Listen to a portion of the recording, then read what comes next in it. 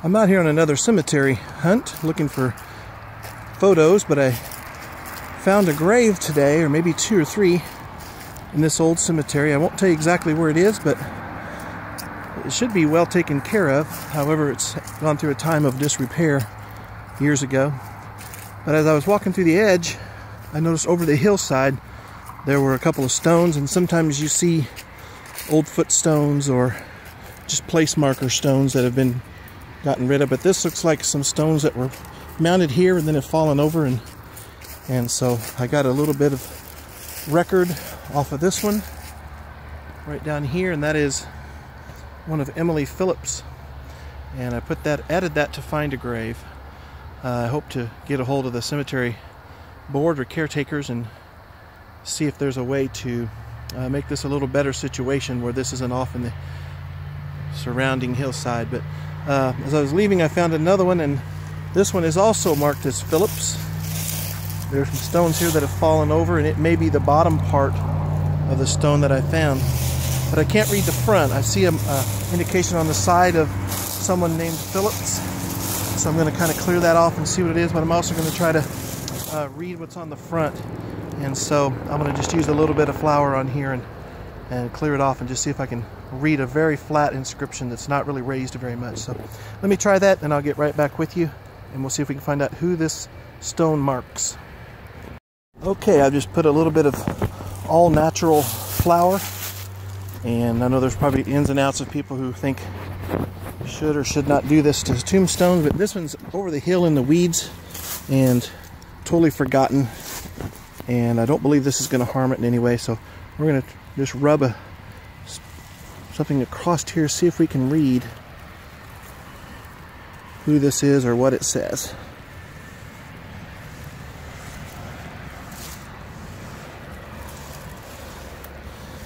I did this first on the side of the sponge that has a, a um, scratchiness on it in hopes that it would leave a lot but I'm going to now have to turn it over some kind of a picture here. And so I imagine it probably reads in this direction. So let's see what we can find out here. I'm just going to really lightly turn it over to the flat side. See if I can leave things on the front in the cracks.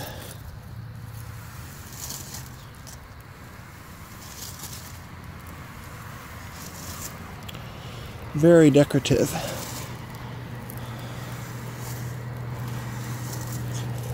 Okay. It's like a picture of kind of like Heaven's Gates. Wow, look at the look at the rooftops at the top. Oh, I can't really make out any names right now. Do that one more time.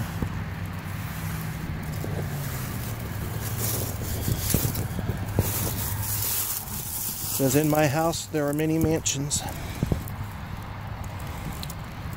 In my father's house there are many mansions. Bible reference there. Near the gates.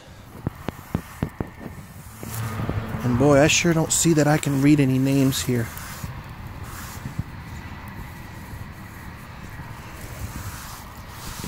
And so, maybe that's just a decoration at the top.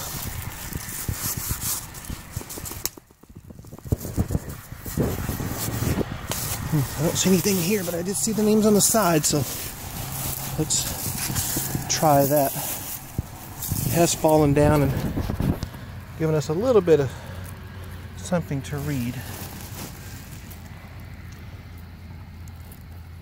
I believe it's going to say sacred to the memory of Annie or someone like that. Phillips, born September 1st, 1801, died April 3rd. 1901. That's 100 year old person whose stone is just thrown to the side. All right, I'm going to dig and see if I can see the rest of this name. Okay, I'm to put a little bit more flour from the top. Put it on the dusted end of this side part that I've just uncovered. And it says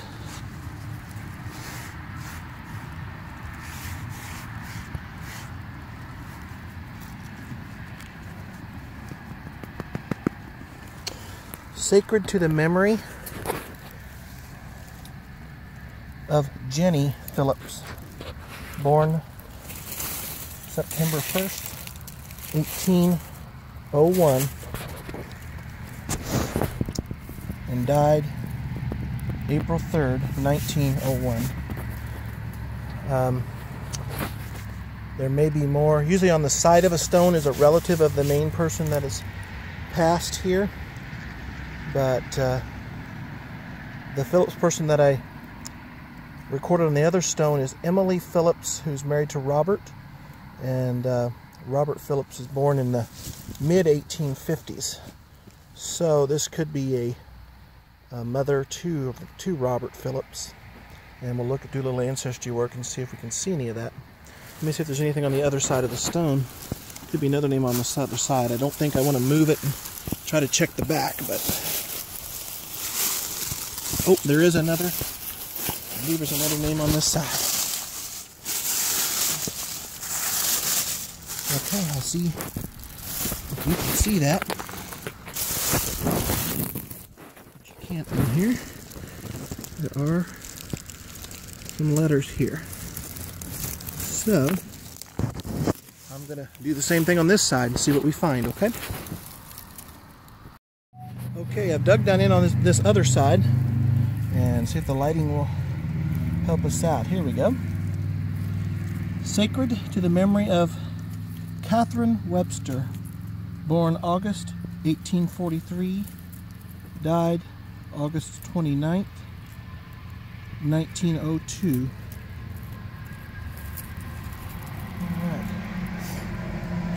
I'm going to put a little bit of dust on here just to make sure we got it right.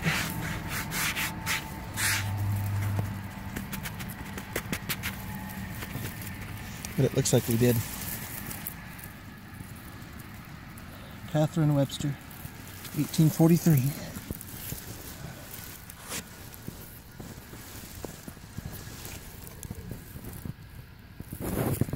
Died 1802. I think this is going to be kind of an interesting research because the preliminary report I got on the first Phillipses that I recovered earlier was that they were a black family living in Missouri in the 1850s in the pre-Civil War. Um, they're buried as husband and wife, and so I'm sure they were uh, at that time um, free, free Americans and not slaves. There's another stone in the cemetery from 1855, which is a year, I believe, a year after the other one, that says uh, slave of. And so now you may not be able to see this census record, but it is from the Phillips family from Hannibal from the 1900 census. And it shows that Jenny Phillips is the mother of Catherine Webster. She's also the mother of Robert Phillips, who married Emily on the other stone. And so uh, they were actually living um, in Hannibal before the Civil War Robert was born in 1847 in Missouri, and uh, their address is listed in 1900 as 1615 North Broadway Extension. And the neat thing is, we drove by there. There's still two old houses that are probably uh, date back to 1900 that are still there. They have a different address. It's uh, instead of 1615, there's a 1613 and a 1617. Both houses have been made into apartments where more than one family could live. So um, it could be very well be their their place that they live. If we could turn over that stone of Catherine Webster's, we would probably see the name Harrison Webster as the main burial on that stone. That was her husband, and um, he would have been the main one, and then his wife and mother-in-law listed on the side. So very interesting. I hope you're able to continue watching these videos and I'll try to find ways to make them more uh, accessible, interesting, and maybe we can get something done about having all these stones repaired and fixed and helping people find their family history. Subscribe to this channel and hope you enjoyed it. Thank you. Bye-bye.